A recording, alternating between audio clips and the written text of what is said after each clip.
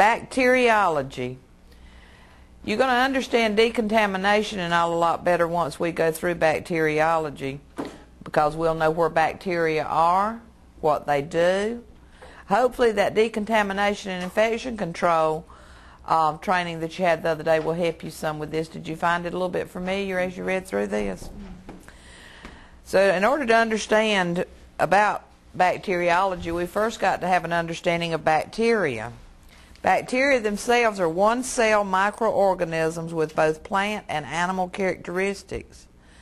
We've heard them called germs or microbes. We know now that they can exist almost anywhere on the skin, in water, air, decayed matter, secretions of body openings, in clo on clothing, and beneath the nails. We can't see them, and we're a people that kind of don't get concerned about things unless we can see it, do we? We don't think about what's out there in the air. But they can only be seen with the aid of a microscope. 1,500 rod-shaped bacteria will fit comfortably on the head of a pen. That's scary, isn't it? There are hundreds of different kinds of bacteria. However, bacteria are classified into two main types, depending on whether they are beneficial or harmful. Most bacteria are non-pathogenic organisms, meaning that they are either helpful or at worst harmless. They're not disease producing. They perform many useful functions such as decomposing garbage and improving soil fertility.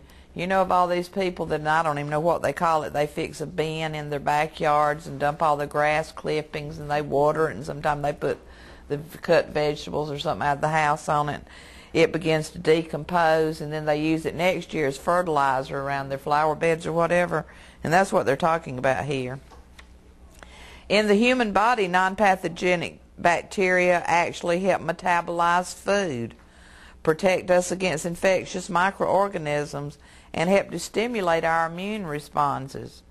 Some bacteria cultures are used to produce penicillin, acidophilus yogurt, and a special type of milk used for gastrointestinal disorders. Saprophytes is a type of non-pathogenic bacteria, and it lives on dead matter. And that's what breaks down that fertilizer pile. Pathogenic is what we're going to concentrate on in this lecture, though, because that's the um, microbes or germs that are harmful. And although they're in the minority, they cause disease when they invade plant and animal tissue. To this group belong the parasites, which require living matter for their growth.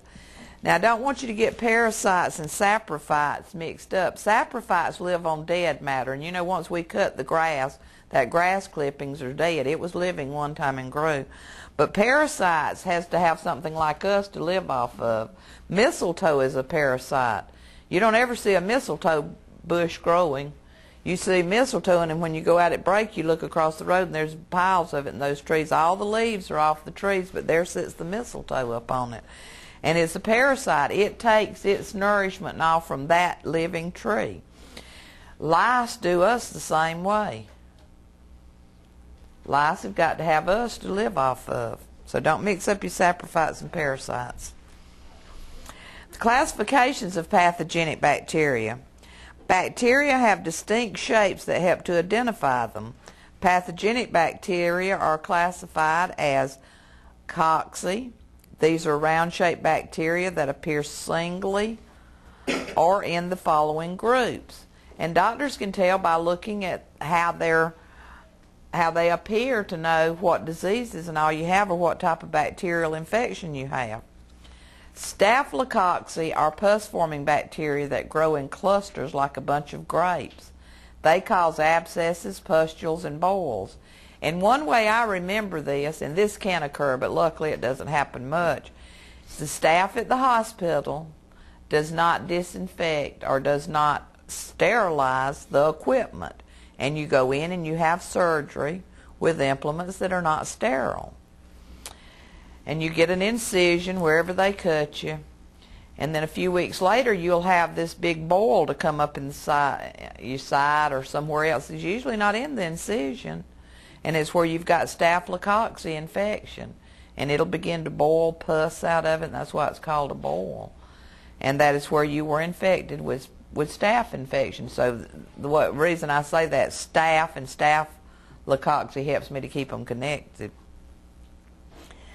Streptococci are also pus-forming bacteria that are arranged in curved lines resembling a string of beads. They cause infections such as strep throat and blood poisoning. Diplococci are spherical bacteria that grow in pairs and cause diseases such as pneumonia. Look at the name cocci too, and you'll remember because it's just about totally round. C O C C I. You know, you remember they're round. Bacilli are short rod-shaped bacteria, and if you notice the last part of bacilli, it's about all rods. The I L L I. They are the most common bacteria and produce diseases such as tetanus, typhoid fever, tuberculosis, and diphtheria. And then spirilla is certainly not one to, hard to remember the shape, spiral. And spirilla almost says that. So they are spiral or corkscrew shaped. They are divided into subgroups. They cause syphilis, which is a sexually transmitted disease, and Lyme disease movement of bacteria. Y'all know that I ask you to sanitize everything in here. In the next unit we're going to have, we're going to talk about the difference in me saying sterilize, disinfect, or sanitize, and that, that's different levels of what we get rid of. And it's according to what we use an implement for as to whether we sanitize, disinfect, or sterilize. And when I ask y'all to clean the tables and chairs and windows and all in here, all we're doing is sanitizing. But sanitizing does get rid of some bacteria. Different bacteria move in different ways. Cocci rarely show active motility or self-movement. However, they're transmitted in the air, in dust, or within the substance in which they settle. So we know that they're out here moving around, and we want to clean some of them up and hopefully kill some of them or retard the growth of them. Bacilli and Spirilla are both motile and use slender hair-like extensions known as flagella, singular, or cilia for locomotion or moving about. A whip-like motion of these hairs moves the bacteria in liquid. We also have some hair-like extensions on our face. The technical term for them are cilia. Y'all like to take a guess at what they are? Hair-like projections.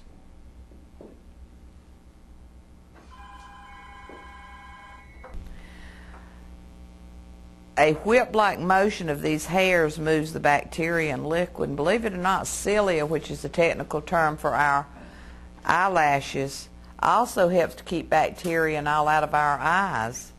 So that's one of the functions they serve. I want to go over these terms on page 96 with you before we move on so that we know what we're really talking about. A little review. Bacteria are one-cell microorganisms with both plant and animal characteristics. Some are harmful, some harmless. They may also be called microbes and germs. Bacteriology is the science that deals with the study of these microorganisms infectious, and I'm going to say uh, infectious, communicable, and contagious are going to be all used interchangeably, but they mean basically the same thing. So infectious means it's communicable by infection from one person to another or from one infected body part to another. And from one person to another is why we're concerned with bacteria. Because if we've got a client that's got something, we don't care for it, do we? And we're, we're not wanting our share of it. And if we've got it, we don't want to be putting it on our clients either. And again, we don't want to spread from client to client. And we do have the capability of doing that under certain circumstances. Microbes or germs are synonyms for disease-producing bacteria. Microbiology is the science that deals with microorganisms and their effects on the other forms of life. Microorganism is a microscopic plant or animal cell. Ology is the suffix meaning scientific study of. Parasite is a vegetable or animal organism that lives on or in another organism and draws its nourishment from that organism.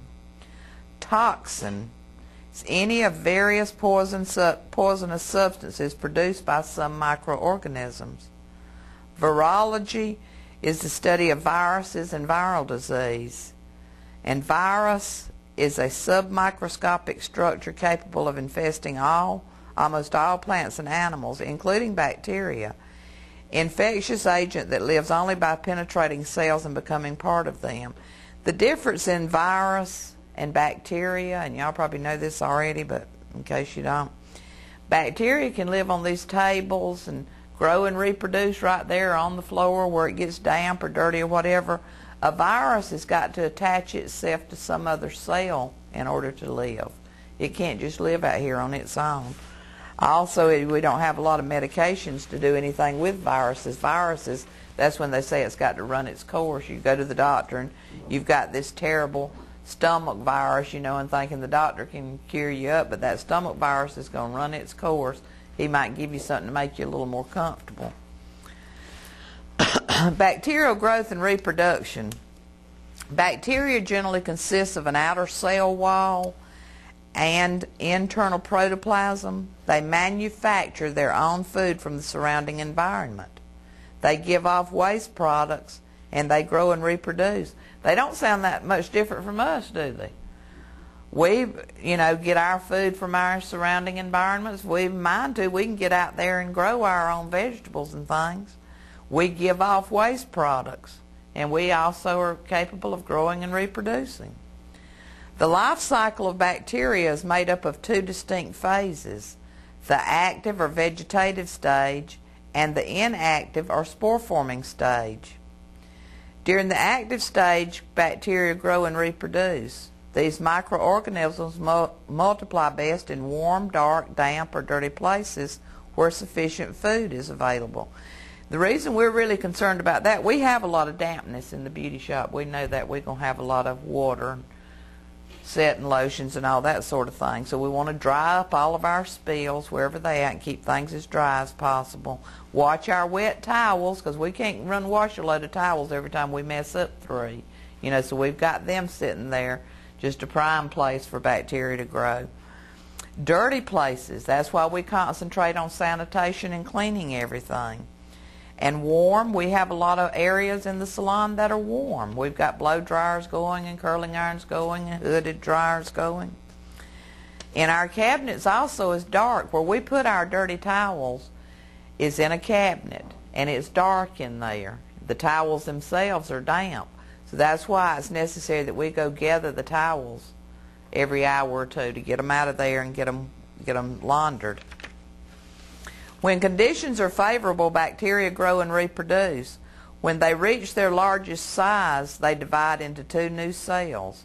This division is called mitosis. The cells that are formed are called daughter cells. When conditions are unfavorable, bacteria die or become inactive. How fast do you think these cells grow and reproduce or grow and split into two daughter cells that then splits into four daughter cells that then splits into how fast do you think that occurs? By the seconds. Probably less than that. One bacteria can grow and reproduce into 160,000 in a half a day now, do you know why we want to clean up behind each client, clean the counter and all that? We don't know what that client brought in there. As a matter of fact, we don't know what we brought in that morning either. The inactive or spore forming stage. Now, I want you to pay particular attention here because this is the part that gives us problems with sanitation and disinfection. Certain bacteria, such as the anthrax and tetanus bacilli, form spherical spores with tough outer coverings during their inactive stage. The purpose is to be able to withstand periods of famine, dryness, and unsuitable temperatures. In this stage, spores can be blown about and are not harmed by disinfectants. They're not harmed by disinfectants, heat, or cold. When favorable conditions are restored, the spores change back into the active or vegetative form, then grow and reproduce. Let me tell you a good example of that. We go to the doctor and we've got a bacterial infection, and he gives us 10 days of antibiotics. and we take the antibiotics just like we're supposed to, and we get to feeling much better. But in about 10, 15 days, we come down again with the same thing, except now we're sicker. And what happened is some of those bacteria were in the spore forming stage, and even that antibiotic could not enter that tough outer covering so that the antibiotics could kill them. Now, as far as us in here cleaning or cleaning our implements or whatever, when we disin- clean them and then disinfect them, a disinfectant will not kill bacteria that are in the spore forming stage. There's only one thing that will kill bacteria in the spore forming stage, and that is sterilization. And we can only sterilize by boiling or baking. You know, you'll see when you if you watch any of these medical programs on TV where they have the instruments in the operating room and this oven-like thing, boiling thing. Well, our implements can't be boiled anyway, unless you're talking about our haircut and shears or cuticle nippers or something. What's going to happen if we tried to boil our combs and brushes and all that we use? We can, or bake them. We're going to go back and we're just going to have a blob of plastic left there. So it's vitally important. Spore forming is what keeps us every day and behind every client. Because after a while, he, this this one that's in the spore forming stage is going to pop back to life, and we're just right there ready to splat him with that disinfectant when he does before they can grow and reproduce. When favorable conditions are restored, the spores change into the active or vegetative stage and begin to grow and reproduce again. Bacterial infections. An infection occurs when body tissues are invaded by disease causing or pathogenic bacteria. There can be no bacterial infection without the presence of pathogenic bacteria. The presence of pus is a sign of infection. Pus is a fluid product of inflammation and contains white blood cells and the debris of dead cells, tissue elements, and bacteria. So pus is giving us a sign, don't handle that without gloves. Even if it's not seeping pus, if there, we can see pus, then we know we don't want to be putting our hands on it. Staphylococci are among the most common human bacteria, and they're carried by about a third of the population.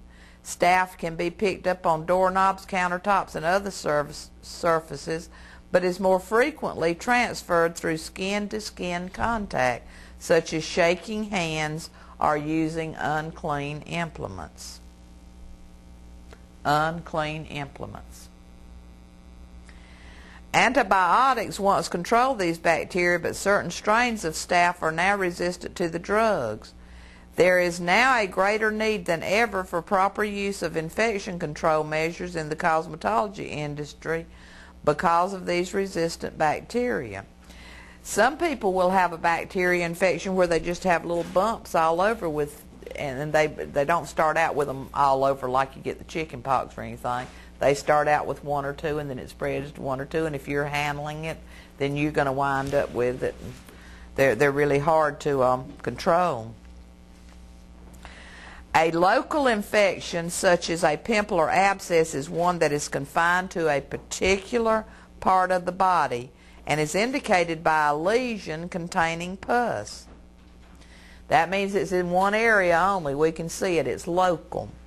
A general infection results when the bloodstream carries the bacteria or virus along with their toxins or poisons to all parts of the body. Syphilis is an example. Did y'all realize syphilis goes all over the body?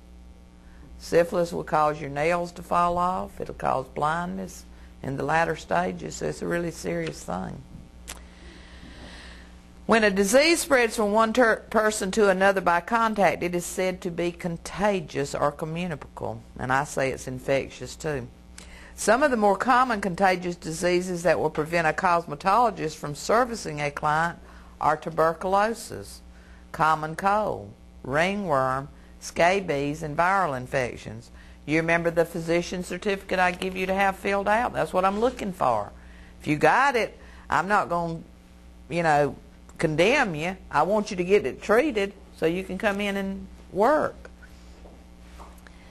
The chief sources of contagion are unclean hand and, hands and implements, open sores, pus, mouth and nose discharges, and shared drinking cups and towels. Uncovered coughing or sneezing and spitting in public also spread germs. I am a big Braves fan. I want to go ahead and tell y'all that. When the Braves start playing, I have to watch it. I'll come in here half asleep some days after they've played if the mm-hmm. game's a good game. But how in the world they don't all fall dead with something, them along with the other teams, because every time you look, they're spitting everywhere. I don't see how they walk in the dugout. And y'all watch a few minutes of the games this year of one of them and watch. Every 30 second they're spitting. You know, and what are they spitting out? Germs. And yeah, it's probably tobacco and uh, sunflower seeds and all that. But there's something else coming out of there too. All right, let's go over our terms and definitions. An acute disease is a disease having a rapid onset, severe symptoms, but it has a short course or duration, so it doesn't last long. An allergy is a reaction due to extreme sensitivity to certain foods, chemicals, or other normally harm, harmless substances. In several of our units, we're going to study about allergies where people have allergic reactions to some of our products. And naturally, we're not going to be using those products on those people, but we have tests that we actually do on our clients to ascertain whether they're allergic to it or not. A chronic disease is a disease of long duration, usually mild but recurring. A lot of our skin diseases are that way, such as psoriasis.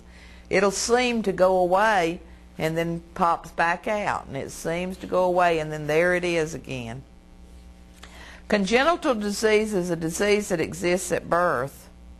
Contagious disease is a disease that is communicable or transmittable by contact.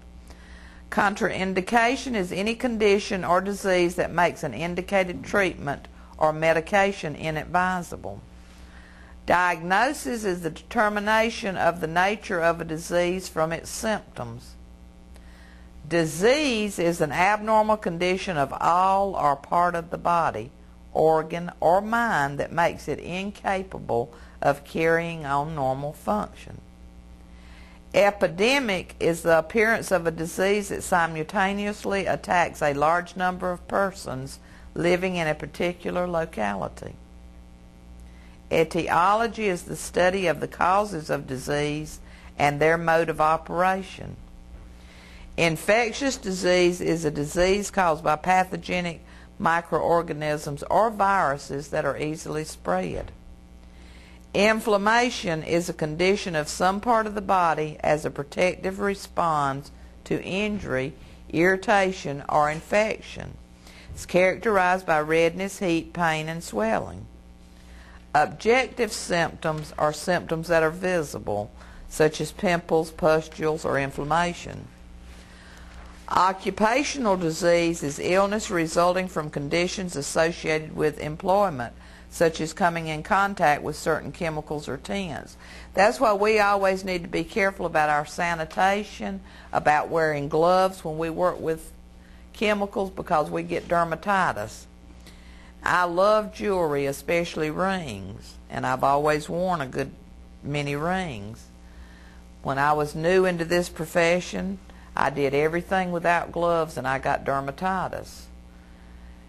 And so there went my rings because all under them is where it'll start. I don't know what set it off a couple of years ago, but I'm back to that again. Now, if I wear one for very long, I have to pull them off unless I wear something really thin. So it's aggravating, and once you get something like that, it has a, you know, it recurs.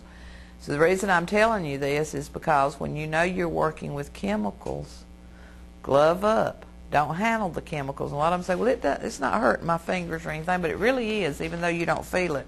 Over time, eventually, it's going to get you. Parasitic disease is a disease caused by vegetable or animal parasites such as pediculosis and ringworm. Pediculosis is an infection of lice, in case you're wondering. Pathogenic disease is a disease produced by disease causing bacteria such as Staphylococcus and Streptococcus, which is a pus forming bacteria, or even viruses. Pathology is the science that investigates modifications of the functions and changes in structure caused by disease. Prognosis is the foretelling of the probable course of a disease. Seasonal disease is disease influenced by the weather. Subjective symptoms are symptoms that can be felt, such as itching, burning, or pain. And sometimes, if we, people can't see something on us, they don't think we're really hurting. I know when I was a lot younger, I'd hear people complain with their back and complain with their back, and I'd think, you know, they don't seem like anything's wrong with them. I think they're just complaining to be complaining. But then I had my little go round of the back pain, and let me tell you, it's not just complaining. But again, something we can't see, we have a tendency to kind of push it aside as non important. Systemic disease is a disease that affects the body generally, often due to under or over functioning of some of our internal glands. Venereal disease is a contagious disease commonly acquired by contact with an infected person during sexual intercourse. It's characterized by sores and rashes on the skin. Then we want to talk about our viruses. A virus is a submicroscopic structure capable of infesting almost all plants and animals, including bacteria. They are so small that they can even pass through the pores of a porcelain filter. In that case, they're called filterable viruses. They cause common colds and other respiratory and gastrointestinal or digestive tract infections. Other viruses that plague humans are measles, mumps, chickenpox, smallpox, rabies, yellow fever, hepatitis, polio, influenza, and HIV, which causes AIDS. One difference between viruses and bacteria is that a virus lives only by penetrating cells and becoming a part of them, while bacteria are organisms that can live on their own. It is for this reason that bacterial infections can usually be treated with specific antibiotics, while viruses are hard to kill without harming the body in the process. Viruses are resistant to antibiotics. There is some vaccinations to prevent some viruses from penetrating cells, but vaccinations are not available for all viruses. Hepatitis, a disease marked by inflammation of the liver, is caused by a blood-borne virus similar to HIV in transmission. It's more easily contracted than HIV as it is present in all body fluids. You know, they say HIV is not in the saliva and all, but hepatitis is. Three different types of hepatitis that are concerned to us are hepatitis A, which usually lasts about three weeks. Symptoms are similar to those of the flu. Adults often have yellowing of the skin or the eyes. The disease is spread through close household contact, such as common bathroom use, poor sanitation, poor public, excuse me, poor sanitation, poor personal hygiene, contaminated food, milk, water, and shellfish, infected food handlers, and through sexual contact. A vaccine is available.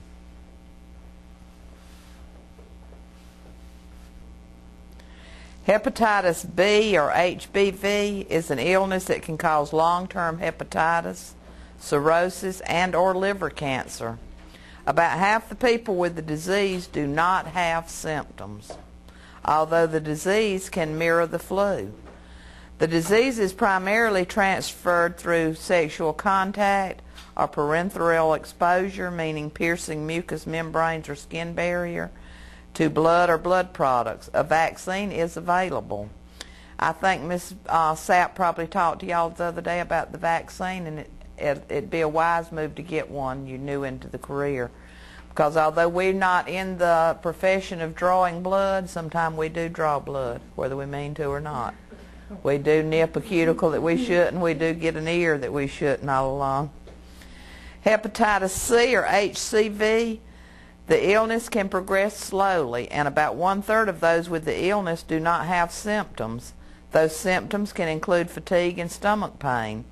The disease is transferred through parenteral contact and sexual activity with infected partners. No vaccine is available. And sometimes people have hepatitis B for 20 and 30 years before they know they have it. So think about how many people we can spread it to or they can spread it to, you know, and never know that they have the disease.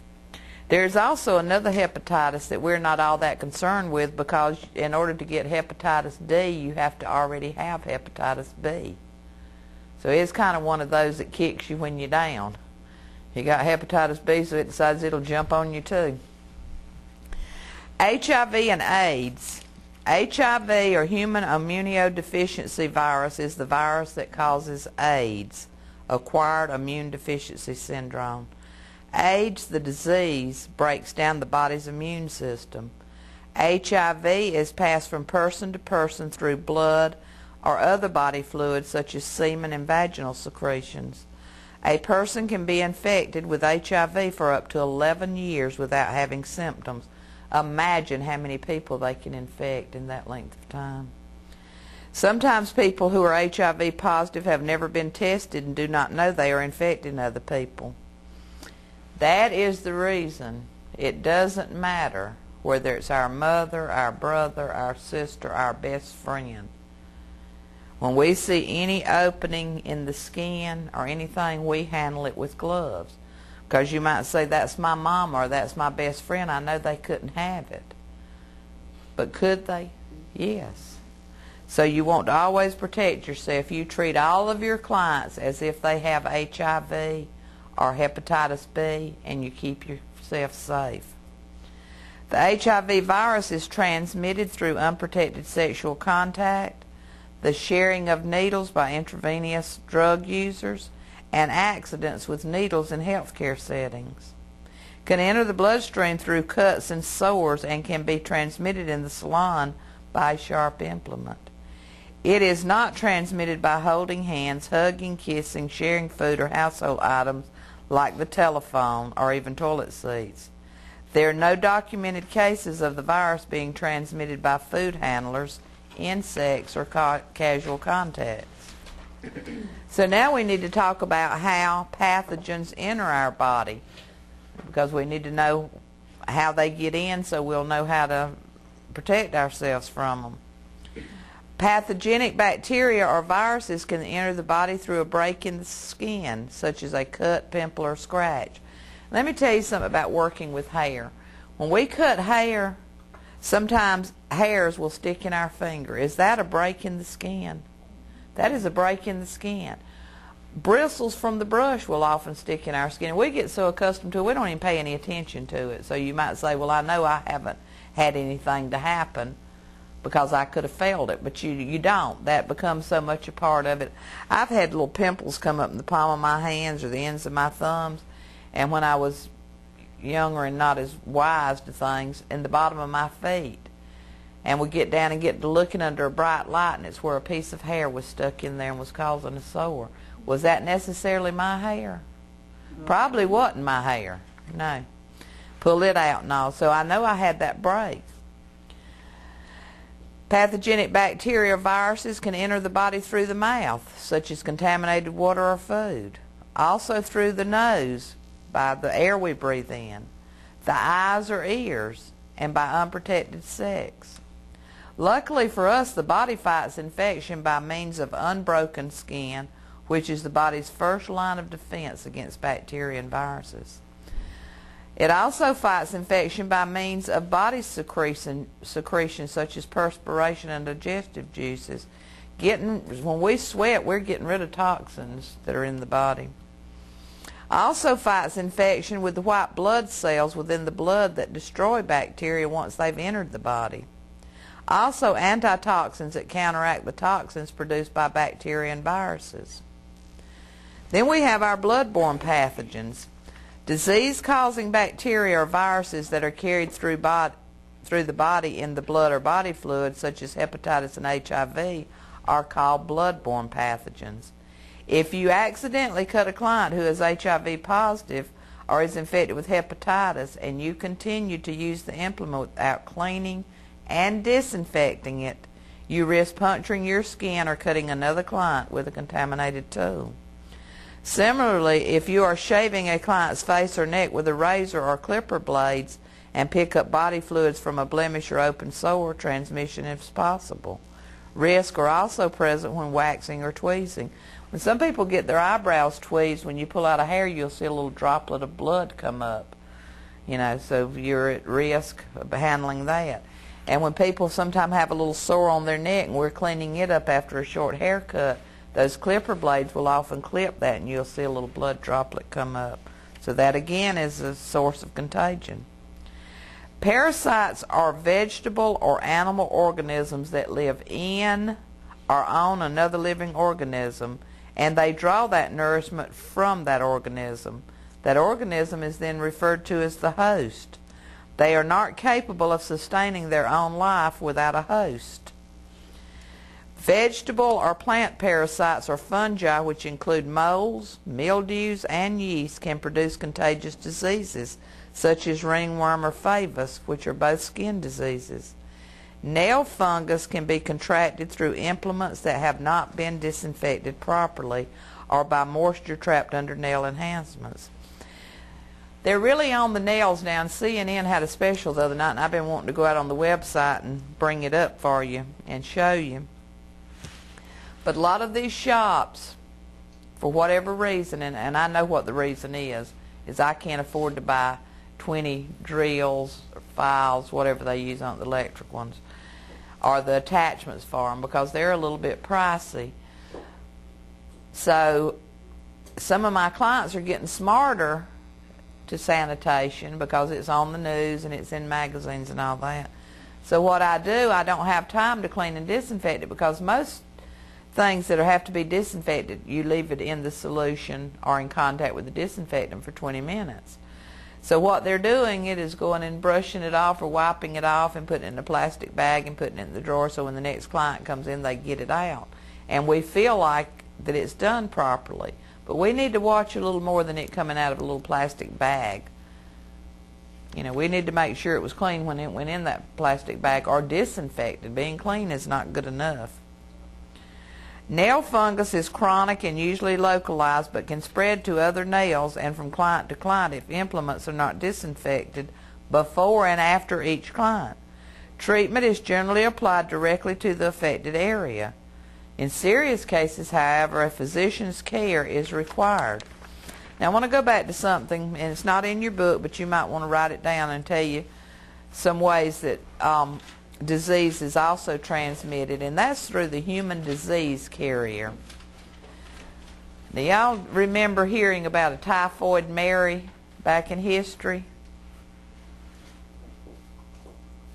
Nobody heard about typhoid Mary? Y'all heard of typhoid fever? Typhoid fever would go through the western towns, you know, like during the gold rush and all that, and it would just about wipe out an entire town. And luckily there was people that could come and help care for them, and for whatever reason, they never got the disease. Some of them were probably immune to it, had had a slight case of it and made them immune. Others, however, the reason they didn't get it, they were the ones that were spreading it. Mm-hmm. They were human disease carrier, and a human disease carrier is a person who never has the disease themselves but they carry the germ of it and spread it to other people. And that is often the case with typhoid fever and diphtheria. Now you know why Typhoid Mary had her name. She went from town to town helping with it, but she was one of the main things that was spreading it. Animal parasites such as head lice are responsible for contagious diseases and conditions. A skin disease caused by an infestation of head lice is called pediculosis capitis. You want to remember that word capitis because that's often going to tell us where uh, an infection is. And when it's capitis, that means it's of the head. Scabies is another contagious skin disease and is caused by the itch mite which burrows under the skin. We were almost away from having scabies in the United States. But now, as people travel more abroad, um, Mexico, they say, is real bad for it, and it's in the mattresses in the hotel rooms. And um, what it does is the itch mite gets under the skin, and then it'll lay an egg and move on up, move on up, and it's, it's called itch mite because it just drives you wild itching. There is treatment for it, and make sure you get treatment because it's contagious. Contagious diseases and conditions caused by parasites should never be treated in the school or salon. And I can't remember if it was this group or another group asked me um, today what did we do? Or did I ever had I ever had anybody with lice? Found them with lice. And it was almost a terror when I worked at night there for a while as they'd go through the schools and people would use the, um, us at night to cut the children's hair you know because they'd be in school during the daytime that you would have somebody to come and you'd get the child's hair sectioned off and we finally learned to just look for it a lot um, to see if they had lice but if we're halfway through with the haircut, we've got to quit. Then we can no longer work on them because the more we work, the more we're scattering the hair and the lice and the counter and the comb and the all this. And when they would leave, we'd get them out. They'd leave everybody in here going, and, and running around. Some of them wanting to pour barbicide on their hands, which is not going to help any. This is a disinfectant. It's not made for lice. But um, you make sure that you don't work on somebody that has that, so you certainly don't try to treat it. They can go to Walmart and buy treatment over the counter that works quite well. But the problem and the reason we keep having the lice and having the lice is we don't read on on our directions, or the parents do not, to where it says they must be treated again in X number of days according to what they're using, and they don't uh, wash their jackets and their bed clothes and vacuum up and do away with the the bag in the vacuum wherever they may be, you know, under the bed or in the carpet or wherever else. So that's why they keep spreading it.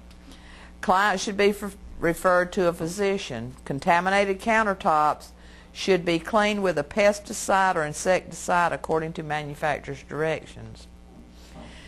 Then we have immunity, and we're so lucky that we have immunity. And that's what happens with HIV or AIDS. It actually eats up our immune system so that we're not not able to fight off diseases. But immunity itself is the ability of the body to destroy any bacteria that have gained entrance and to resist infection in general.